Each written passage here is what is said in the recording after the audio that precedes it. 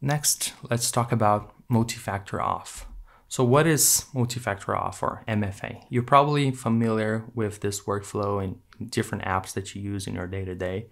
And that's a way for you uh, as a user to prove that you have something that you know, like your email and password, but not only that, you have an, uh, an additional factor, which is something that you have.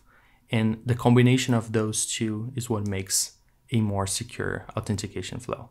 So something that you have can be a phone, you know, some device that you can uh, have like information there. It can be a YubiKey or it can be like your fingerprint.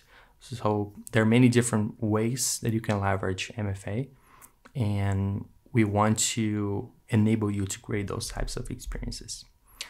So we built this API uh, that is currently in a preview mode and this API is a set of composable endpoints that you can integrate your app. And we try to make them in a way that is very agnostic. So you can work with any different authentication solution and just plug that on top of it. We have two different factors for authentication that you can use. One is called TOTP, which stands for time-based one-time passwords. And those are like those numbers that they refresh uh, from time to time. Um, the things that you typically use whenever you're using an authenticator app. And we also have SMS. So if you want to use your phone, um, your phone number to confirm identity, you can use that as well. The cool thing about this API is that enables you to build things that are on top of the like that login flow uh, necessarily. So you can go ahead and build things like sudo mode, which is a way for you to restrict access to certain resources. So let's say the user is going to a page where um, there's like a very sensitive resource that they're going to access, or they are doing an action that might be destructive. So you can present that confirmation uh, page before they execute that action so you can confirm that that user is who they say they are. And you can leverage the MFA API to do that. So now I'm gonna hand it over to Mahamud and he's gonna demonstrate how that API works in practice. Hi, I'm Mahmoud and I'm a developer advocate at WorkOS. And today I'm super excited to be giving you an in-depth overview of the MFA API. The API currently enables you to add support for time-based one-time passwords and one-time passwords sent via SMS. Now, to get started, you'll need a WorkOS account, an API key, which you can find in the WorkOS dashboard, and finally, we highly recommend that you use one of our SDKs in your language of choice to interact with the APIs since they offer a better developer experience. Integrating with the MFA API is done in three steps. You first enroll your user in an authentication factor. Then you create an authentication challenge. And finally, you verify that created challenge. To give you a better understanding of each step, we'll be taking a look at an example app powered by the MFA API. Now, the app initially had logging in using email and password. However, we wanted to make the app more secure by giving users you know, the option to enroll an additional uh, authentication factor, whether that's TOTP or uh, SMS verification codes. So right now I'm on the settings page for configuring an additional authentication factor and the user has you know, the option between TOTP or SMS. Let's configure TOTP. When I click continue, the app makes an API call using the enroll factor function that's available in the SDK, which takes as arguments a type, which can either be TOTP or SMS, here will be TOTP, an issuer, which is the name of the app itself, and then finally, the user's email. And we have access to it since the user is already logged in. The API sends back a response object, which includes an authentication factor ID, a QR code, which you can display for your users, but also we include the secret. So in case the user can't scan the QR code, they can use the secret instead.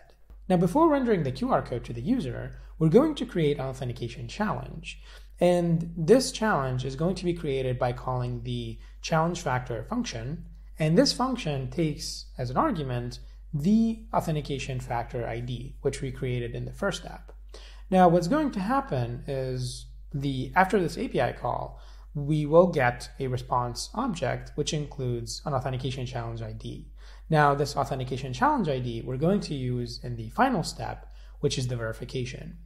Now, to verify, we're going to call the verify factor function from the SDK to see if the user does indeed have access to the one-time password. And this function takes the challenge ID and the verification code as arguments. So this is good. So this function will be called when the user submits the verification code. If the verification step is successful, the API will return a valid field with a value of true. Otherwise, it will be set to false and the user will have to make another attempt again. And that's it. When the verification step is successful, you should persist the authentication factor ID in your database and associate it with the user. This way, when they log in, all you need to do is create a challenge and then let the user verify it by providing the verification code, whether that's you know their one-time password or the one-time passcode sent via SMS. Now, when it comes to adding support for one-time passwords sent via SMS, the process is very similar. The only difference is when you're enrolling a user, you only need to set the type to SMS and provide the phone number. And then you just go through the remaining steps, which is uh, creating an authentication challenge and then verifying it. Thank you so much, Mahmoud.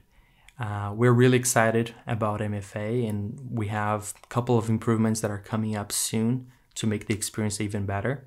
One of them is a visualization in the WorkOS dashboard where you can see every single user and see what are the authentication factors that they used uh, to uh, verify and challenge their um, their authentication factors. So really excited about this. It's coming soon, and it's going to give you more visibility in terms of who's using the MFA API. We're also launching a new page on the WorkOS website, so you can go ahead to workos.com to check it out, and there's a lot more information about this and how you can use this. So, in a nutshell, the MFA API is this set of composable, unopinionated API endpoints that you can use. It works with any authentication uh, solution or middleware uh, framework that you're using, and it gives you um, TOTP and SMS factors that you can uh, choose to uh, augment your authentication layer and make it even better.